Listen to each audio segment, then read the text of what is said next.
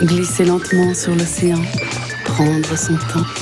Embarquer sur Arte, la croisière vous attend. Debout, allez, debout, c'est l'heure. J'arrive de chez Arte. Ils t'attendent, chérie, pour l'interview. Oh, mais j'ai trop le trac. Oh, mais non, ils sont cool. Ils nous adorent. Ils vont passer toute la série. Vive la culture. Vive la culture avec un gros culot.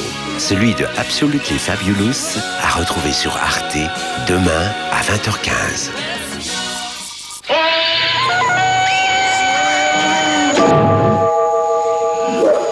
Tarzan, prochainement sur Arte. Prochainement, c'est là qu'en 776 avant Jésus-Christ sont nés les Jeux d'Olympie, ancêtres de nos Jeux olympiques.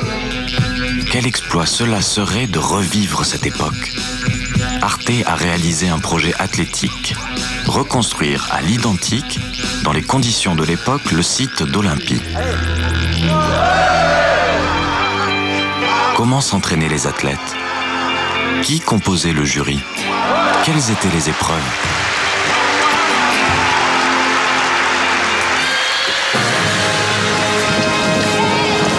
Feuilleton documentaire en neuf épisodes vous replonge dans l'Antiquité. Venez chaque jour y muscler votre curiosité. Vous y gagnerez des lauriers. Les champions d'Olympie. Un événement inédit à partir du 26 juillet sur Arte. Arte vous donne rendez-vous dès le 26 juillet avec les champions d'Olympie et RMC. Vous pourrez gagner un séjour au JO d'Athènes.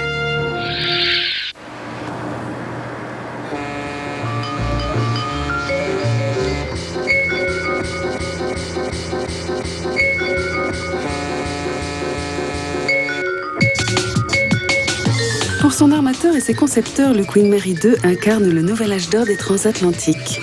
Paquebot sans gouvernail, cette luxueuse ruche flottante est une gageure technique et financière qui va devoir séduire le public des baby boomers.